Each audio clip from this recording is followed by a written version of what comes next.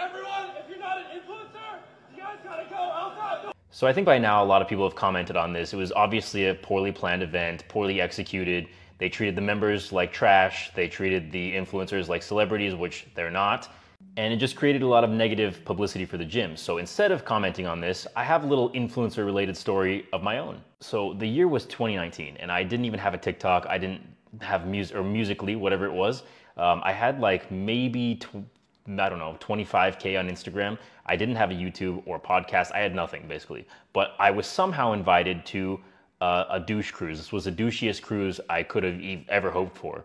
Um, but I was somehow invited, and who was I to say no? It was a free trip to the Bahamas, so I took it. And I could invite another person, also for free. So I invited my friend Dan, who owns a gym here in Montreal, Pump City Fitness. Go there if you're in Montreal. Anyway, so we go. Uh, there are lots of very known people, and they're all very weird. Very, very, very weird. Um, not only like just weird people, but they're also like weirdly antisocial, maybe shy, just just not cool people. They, they, they're not the people that they portray on, on YouTube. Let's put it that way. So we were just doing our own thing. We were pretty isolated from everyone else. There, there were the, the influencers who thought they were celebrities and they would just hang out in their own uh, like little cliques while everyone kind of looked at them and watched them vlog. There were the lesser known influencers who still were pretty known and they were kind of nice. And they would follow you back on Instagram like normal people. And then there were the ones like us who really probably shouldn't have been there because we really contributed nothing.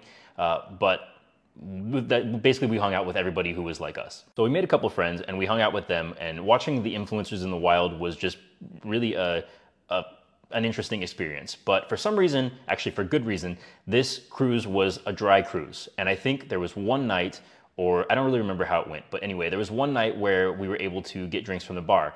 Um, and so my friend and I were, were with all the influencers and um, they were like, you know, like 19, 20. We we were not. We were like, I think I was like 25.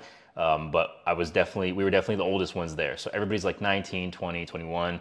Um, and for some reason, all these huge influencers with 500K, a million, a million plus followers, nobody had any money. So my friend who owns the gym paid for everyone because these, these little like influencer children didn't have any money to pay for their drinks. So yeah, Next time you see an influencer acting like they're an A-lister, you humble them because influencers aren't shit.